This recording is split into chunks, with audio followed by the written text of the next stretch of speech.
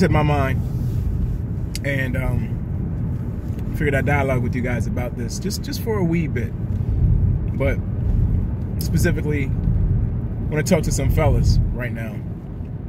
So let's just hypothetic, hypothetically, let's just throw that situation out there, right?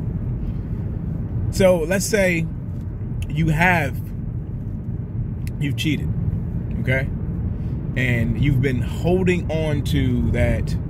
Um, you know, do you tell her?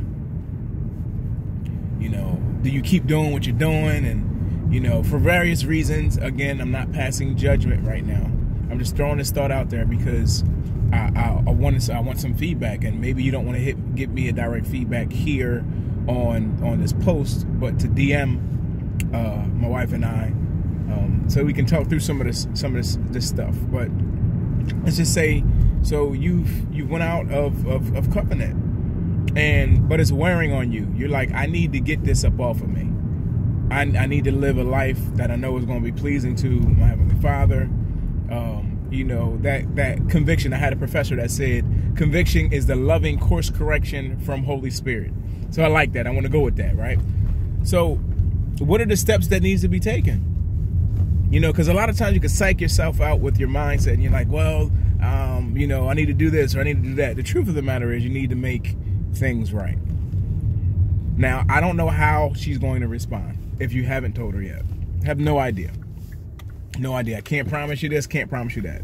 But I will say that God is a restorer, and if you have a humble heart and mind to recognize and realize and to confess your faults, and if you're listening to this video, then you're already connected to a couple who not only will pray for you, love you, and encourage you and walk with you through this journey, but you know, there's a roadmap to help you work through some of the toughest times in your life. So that's already an upswing if you make that decision to not tell or reveal, because that needs to be done, but to change your courses of action and operate in a way that's going to bring glory and honor to God, uh, to, to step up on your responsibility. Uh, to talk through some of those deep dark things. Because as brothers we don't talk about a whole lot. And i understand it to a degree but we got to learn how to master communication. So i want to encourage you as the first step of action to stop whatever you're doing.